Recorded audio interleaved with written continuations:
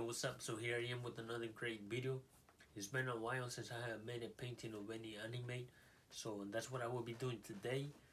I have already went ahead and made my drawing on the canvas, so let's just start giving it some color. So let's just begin. Let's go.